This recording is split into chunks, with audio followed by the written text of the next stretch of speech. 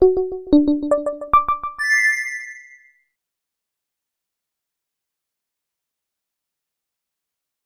も見えない私たちですが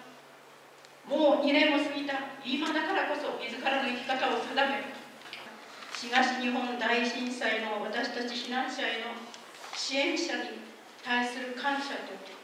これから先私たちも含め全国の皆さんが平穏に暮らせますよう祈りを胸に